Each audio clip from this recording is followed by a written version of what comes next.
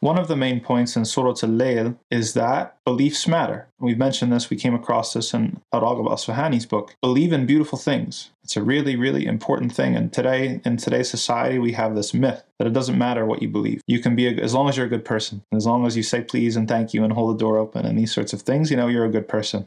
It doesn't work like that. That's a very superficial, a very thin definition of what it means to be a good person, right? Being a good person is much, much more than that. And it has to be a robust enough concept and a thick enough concept that someone's going to be able to be good no matter what's going on. War breaks out. Uh, they're they have their, they're down to their last penny, right? They're still going to do the right thing, right? We need a concept of goodness that is strong enough to withstand those external pressures, and that can only come from faith. That can only come from faith in Allah and in an afterlife. And there's recognition of this in Surah Al-Layl because Allah says, فَأَمَّا مَنْ أَعْطَى وَاتَّقَى وَصَدَّقَ بِالْحُسْنَى صَدَّقَ بِالْحُسْنَى has to do with affirming all of the good things, right? Truthfulness, piety, modesty, honor, dignity, justice, all of these sorts of things. Whoever bears witness to those, right, affirms the truth of those. This is an orientation that people have towards it. What's going to happen to those people just by by nature of their belief in those things and their affirming of those things? There's going to Allah is going to cause something else to happen. He's going to make it easier for you. We're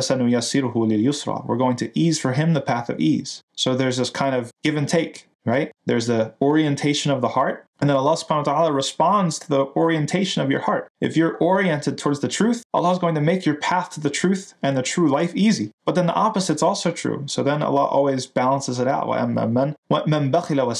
Someone who's stingy, right, and is arrogant. And denies and rejects what's good, what's true, right? They're just about realpolitik. They're just about, I gotta get mine, you know, the dollars, and the fame and the glory and me and this thing and this thing and all about it's about the dunya. What's going to happen to that person? Can that person really be a good person with those sorts of beliefs? No, no, no. Allah says, We're going to make easy his path to difficulty or to hardship. We're talking about the afterlife. It's going to become constricted and constricted and constricted to the point where the person's going to have less and less of a receptive heart to guidance, which is something that Allah further indicates when he says, Inna alayna lal huda. Ours is the guidance. It's upon us to guide people, right? There's this kind of uh, relationship, this give and take that goes on between our orientation and then Allah subhanahu wa ta'ala responding to it. The person who orients themselves towards faith orients themselves towards the beautiful, the good, the righteous. Allah is going to reward that person by